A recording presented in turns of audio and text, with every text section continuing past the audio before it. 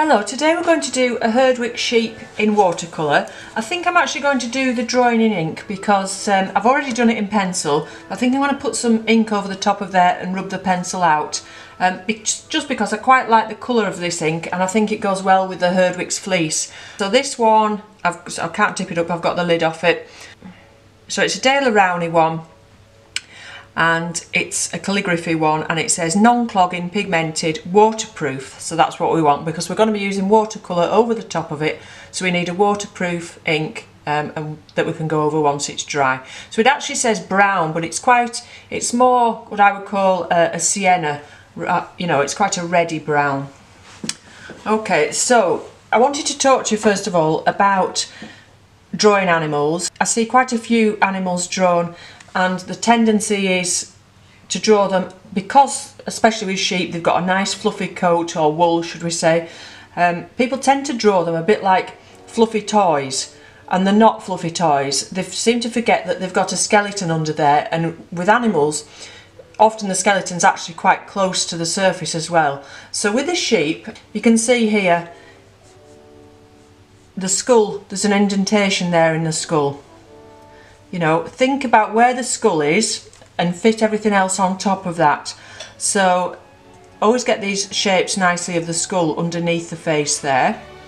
Also another mistake people make is putting the ears on as if they're glued on afterwards, as if they're just stuck on. They're a part of the animal, they're attached, they continue, they're not just stuck on afterwards. So make sure they come down to where they should be meeting. Uh, this one's actually inside out a little bit, I think it's a windy day and his ears sort of flopping around. Okay, so do it as one. Make sure the ear is attached to the animal as it is on the animal. Look very carefully to how ears are attached. Not just on animals, look when you're doing portraits as well on people. Okay, and the other thing that people seem to tend to do quite a lot is, especially again with sheep, they'll draw a big block for the fleece and then stick the legs on underneath. You need to think about where that skeleton is to make it look believable. So we've got his neck coming down here. We can see that his neck's underneath there. Even though it's covered in wool, we know it's there. And we should know where his shoulders are. Um, so his shoulders, her shoulders probably actually, are coming along here and then this leg is attached. So when you start to draw a leg, start up here. Don't start by sticking it on down here underneath the fleece. The leg doesn't start here, the leg starts up here with the shoulder. Follow the shoulder down, think about where the knee joint is and carry on. Same here, there's a shoulder here under all this wool and that carries on down. I've not drawn his feet, her feet because she's studying a, a lot of long um, bracken actually so I've left that bit for the time being. Okay, and she, he's, she's sort of foreshortened, so we just see her back going away. But again, this is the shape of a tummy, so we need that shape in.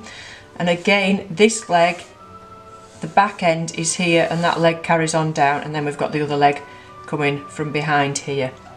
So again, even with the leg that's coming from behind, we should know that's roughly there where it comes from.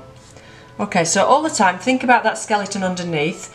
Um, you might be drawing lambs at this time of year. When lambs are born, they've just got a little covering of flesh and, and a very tight little wool on them, the skinny little things. So you can see all the shape of the skull uh, in the face, and you know you should be able to see where the shoulders are and where the, the hips are or the hocks.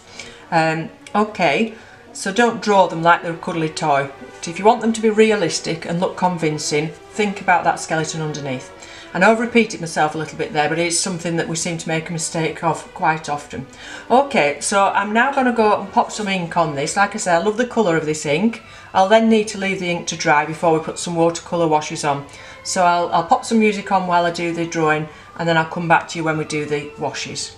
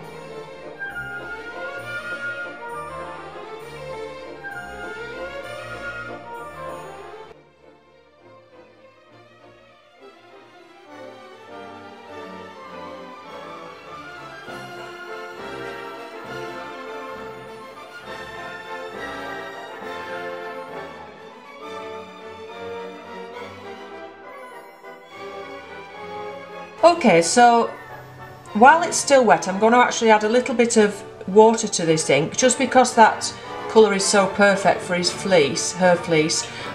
Now with Herdwicks, they're very distinctive for the white faces and these lovely fleeces, um, but you might not be familiar with them if you're not from around here. They're very local to Cumbria and the Lake District, so when you're in the Lake District you'll you perhaps see them around, well you will see them around, but and you'll notice what lovely white faces they've got. So that's you know one of the reasons I sort of chose them to do today. So I'm just going to add a touch of water just in places, not all over, to her fleece, where the, where the darkest shadows are, and just let some of that ink run because it's perfect colours, that nice reddy brown. We will also put some watercolour on top, but I just thought while it was still wet, we would let some of that ink move around the paper a bit. And you can see where I went a little bit darker underneath a face where obviously a head's casting a shadow on a neck there. She's slightly darker down this side. I think the light's maybe coming more from this side.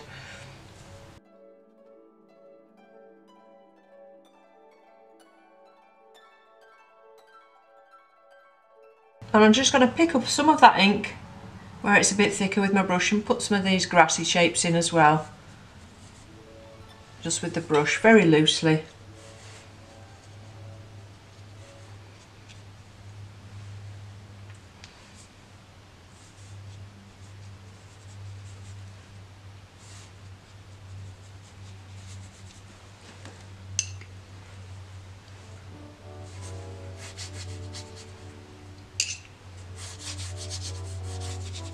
Adding a bit of water as well.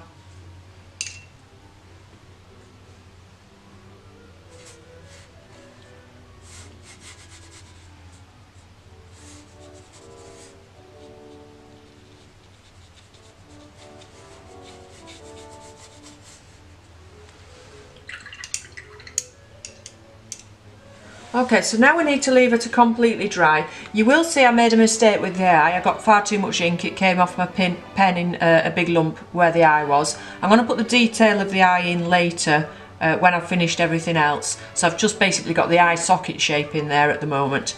Um, but I did very quickly just suck that um, ink up with a tissue and then put some water on to get the rest of it off. So it's it's not left the paper completely white there, but it doesn't matter because that's we're going to be painting the eye in over that anyway. Okay, so I'll leave that to dry now and then we'll come back and put some watercolour on.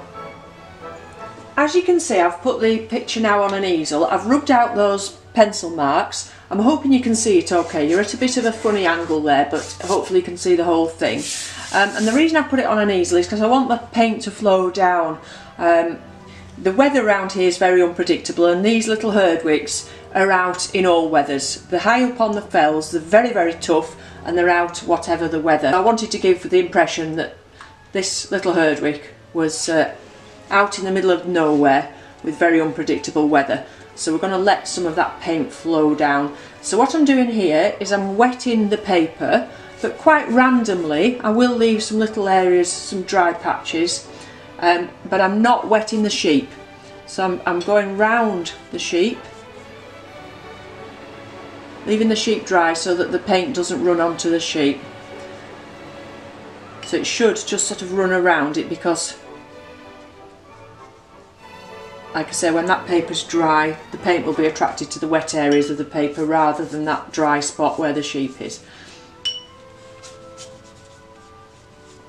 So leaving some, very very roughly leaving some dry bits and some wet bits. Okay. So plenty of water on there. And I've mixed up I'm going to hold this up now hopefully you can see that. I've mixed up an ultramarine a burnt sienna and a gamboge. And we're just going to let them mix together on that wet paper. So starting with the ultramarine. I think I still had some gamboge left on my brush there from when I was mixing it I'm going to go right to the top with that I think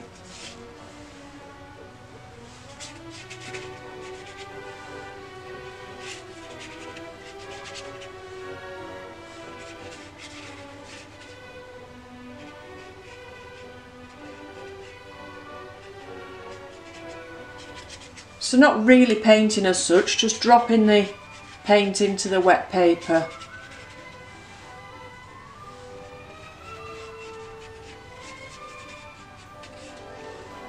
Okay, so you can see there that paper's been a bit dry down this side, so I've always got my spray next to me. And if there's some areas that are dry, sorry I just kicked the um, tripod then, I'll just give it a bit of a spray and let that flow down. Okay, so then we'll go on to the sienna. Similar colour to her coat, which is nice, and a nice warm colour, but also a colour that we would find a lot around here in Bracken. Of course, one of the earth colours. And I will put some further up as well because there might be some distant fells. It's not necessarily sky up here, we're just imagining a very, very loose background. Um, and having some light and shade in it.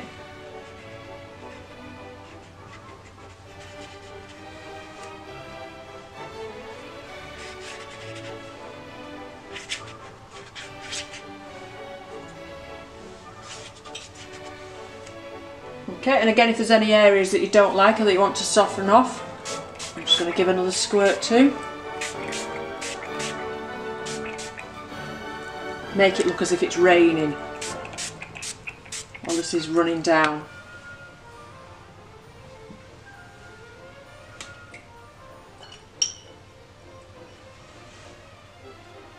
And finally I'm going to put some of the gamboge, so this might be a bit of sun peeping through somewhere or it might be mixed with the blue and be part of the ground behind.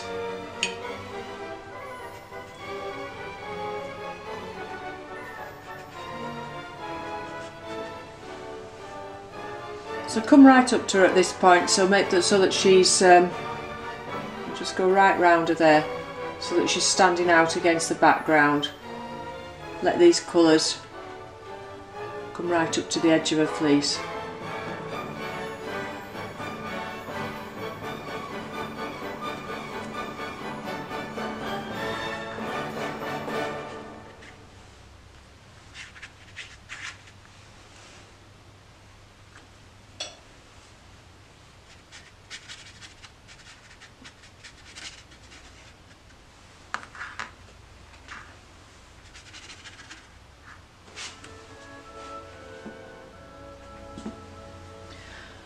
Okay, now I'm feeling we need to be a bit darker in places. So what I'm going to do is I'm going to make a darker mix out of the ultramarine and the burnt sienna. But there's going to be a lot more pigment in those and a lot less water. So that we're not introducing more water onto that paper. Or not a higher concentration anyway. So it's a lower concentration of water when we add this next colour. So it makes a nice dark grey if you add ultramarine to burnt sienna. And I'm going to put some shadows underneath where she's standing.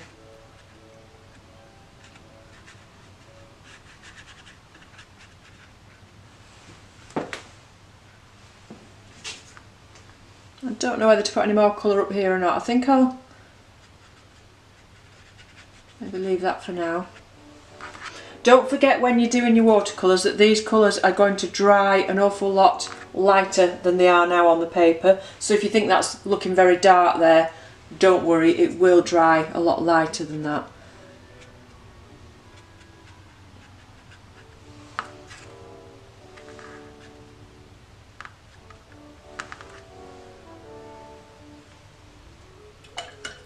I'm going to make another mix of the ultramarine and put a bit extra at the top.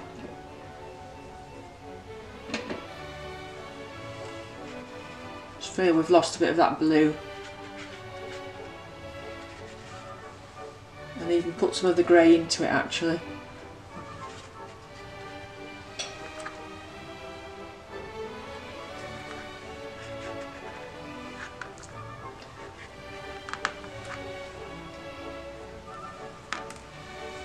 Okay, and again squirt some rain around. So I know it looks like I'm washing it off, and I am actually washing it off, but it's all to get these effects. So I might think now, well, I've, I've lost a bit of light and I want a nice area of light. If you go really close to the paper and really squirt, you can get some of that light feeling back. Can you see, because the sheep is dry there, these colours are hitting her and running around her and when they dry they'll make a nice crisp line so that she's going to stand out from that very wet background.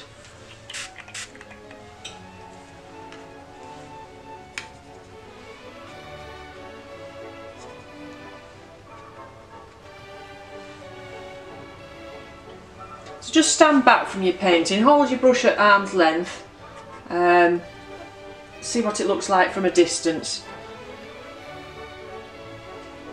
And you could play around with this all day adding and taking away paint, it's just, it's quite good fun really.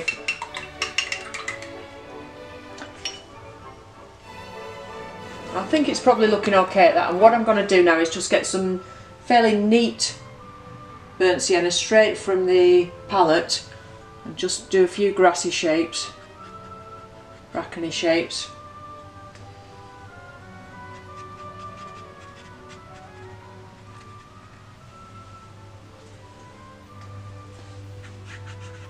one or two sort of suggestive lines, just making it look as, as if she's not just flying in space. She has got something to stand on there.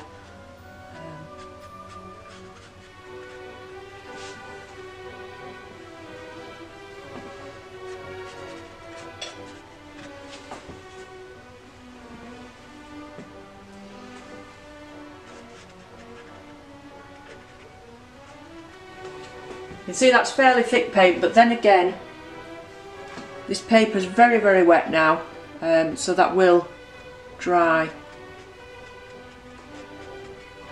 a lot lighter.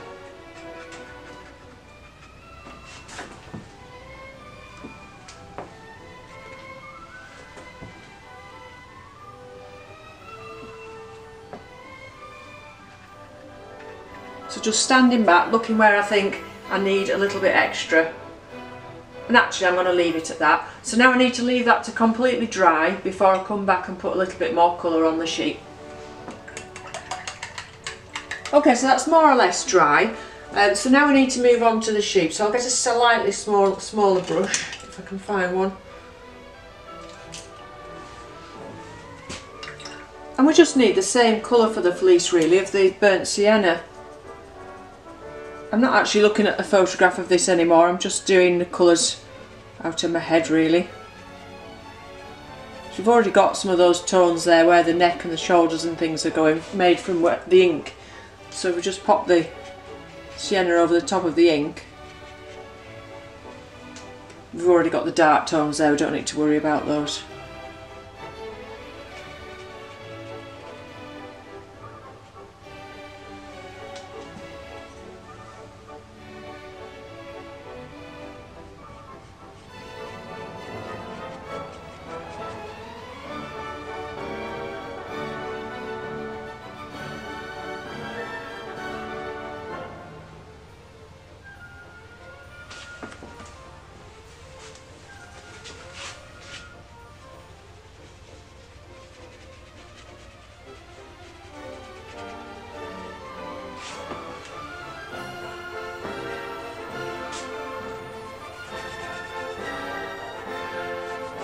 Actually, I think the whole thing should be a little bit darker than that. She's very dark, her body's very dark compared to her face, so let's just make that a bit darker, so stronger pigment. And I might even put, a, gonna put another colour in now. I'm going to put a touch of um, burnt umber in as well.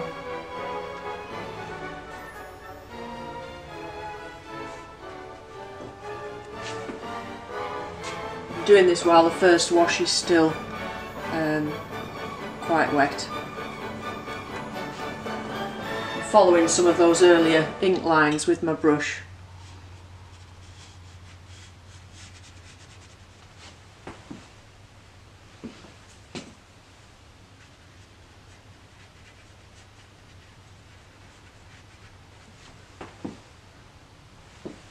But then I'm going to add a little touch of ultramarine to the same mix, again to make it darker. Don't want to lose all that red because they are quite gingery red, um, especially where the, the sun's on the fleece.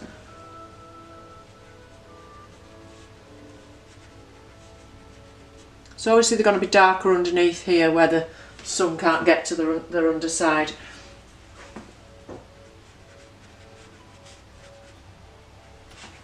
Painting at a bit of an angle so that you can see um, with the tripod at that side there.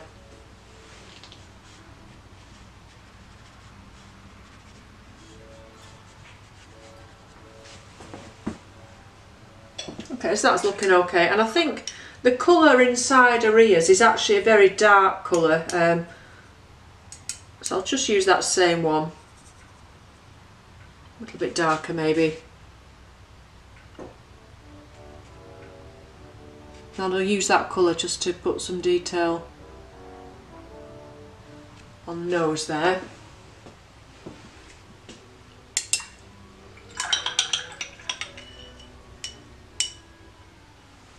And I'm going to make a very, very pale wash now of the same colour with lots of water and just use it as a shadow so that we can put some, because like I said, her face is white but still needs some shadow adding to it.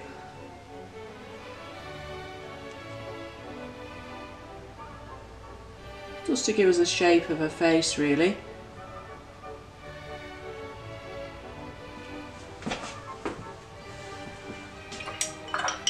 And I'm just now softening my brush, brush off. I'm going to get that bit out there and I've softened my brush off, taken the excess water off it and I'm just going to, sorry, softening the paper off, not just softening the brush off. I'm half asleep, I don't know what I'm saying.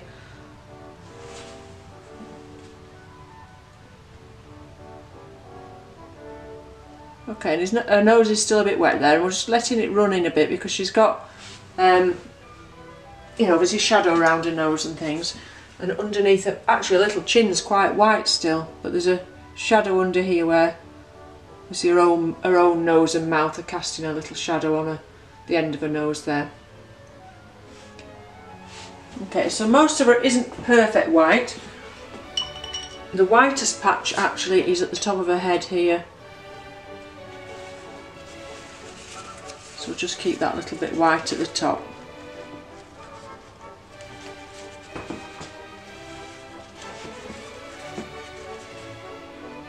Across the top of her nose where the sun's sun's hitting the top of her nose a little bit if there is any sun, the light.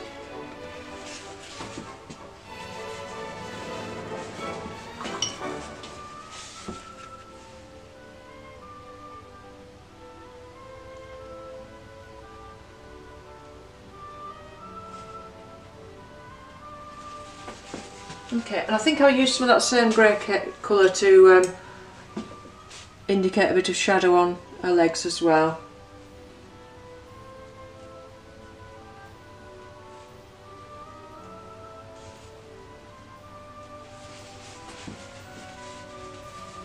I seem to have lost her back leg, this one here. Just get a bit of that pigment out. That's better. It looked like she'd had a leg amputated.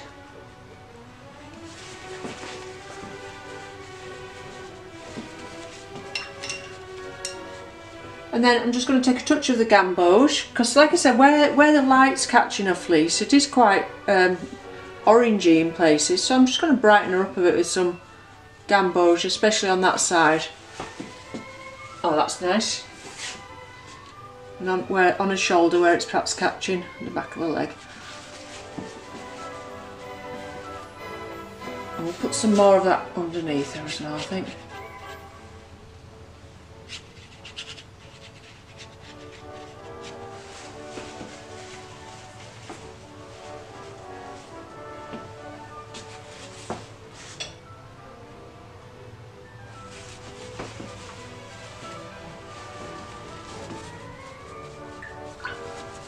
Don't like this bit here, I don't know. I think that was where it was going a bit, the brush was going a bit dry before when I was adding those colours. So just take that off. Okay, I'm going to leave it to dry again. Uh, just a moment, I just don't like that when I'm standing back there. So you keep standing back and seeing bits that you do like and that you don't like and you keep altering them. Um, yeah, so I'm going to leave it to dry again for a minute and then put a little bit extra detail in and finish off the eyes. Okay, so first of all I'm going to put one or two extra bits in at the bottom. These could be grass or anything really, just suggestive lines. Just don't feel distinctive enough at the moment.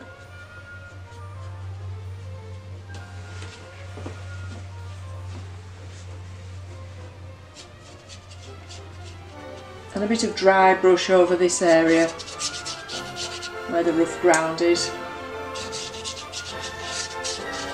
So when we say dry brush, basically you've got a very dry piece of paper and you've got a very little amount of uh, pigment on your on quite a dryish brush and you drag it across the surface of the paper so it catches the tooth of the paper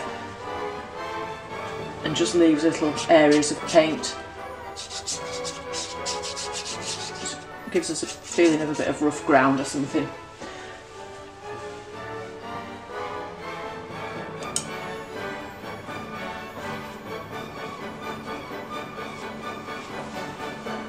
Okay, so I'm going to leave the background now and the concentrate just on the sheep herself and I think all we need to do is give her some eyeballs and just a little touch of detail again on the mouth so very small brush. Popping her nose in. She looks a bit grumpy but they usually do. You'd be grumpy if you stood outside in that weather. Whoops. This easel, um, I've had it some time and it needs everything tightening up on it. It's just um, getting a bit loose.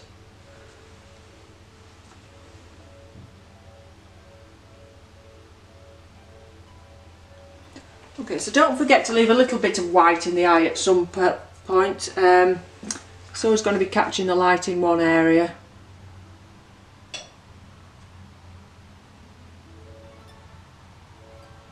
but don't make it too big because you know she's at a distance she's across the field you're not going to see masses of white in the eye we'll just tidy that